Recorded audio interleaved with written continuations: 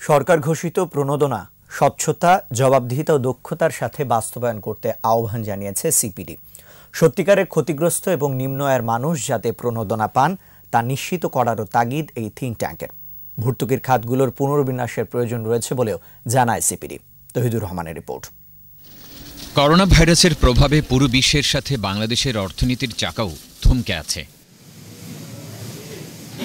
এমন প্রেক্ষাপটে রপ্তানি স্থানীয় পর্যায়ের ব্যবসা এবং কৃষক ও অসহায়দের জন্য একাধিক প্রণোদনা ঘোষণা করেছে সরকার। আমরা অনুরোধ করব কেন্দ্রীয় ব্যাংকে এদিক থেকে যে তারা সংশ্লিষ্ট অ্যাসোসিয়েশনগুলোর সঙ্গে কথা বলে নিজস্ব কিছু যেন প্রস্তুতি তাদের থাকে।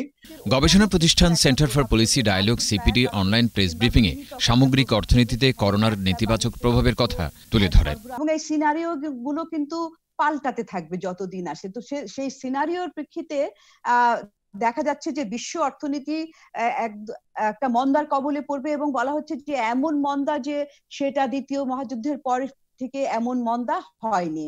চলতি অর্থ বছরে এক লাখ কোটিরও বেশি রাজস্ব ঘাটতি হবে আশঙ্কা করে নিম্নয়ের মানুষকে সুরক্ষা দেওয়ার দাবি জানায় সিপিডি। যদি আমরা অ্যাপস ডেভেলপ করতে পারি যেখানে ফোন করে তারা তাদের নাম অন্তর্ভুক্ত করবেন। তাহলে এটা একটা চাহিদার দিক থেকে এটা এটা এটা একটা আমরা তখন এটা পেতে পারি যে কারা কারা এখানে একটা সময় নির্ধারণ করে দেয়া হলো।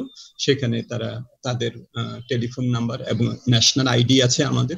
এগুলোকে এখন কিন্তু ব্যবহার করার সবচেয়ে প্রকৃষ্ট সময়।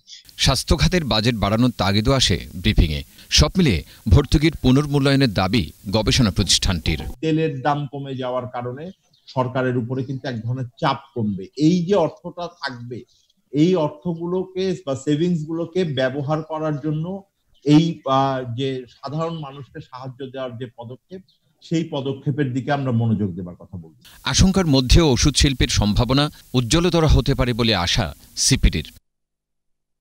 তৌহিদুর রহমান, একুশে টেলিভিশন, ঢাকা।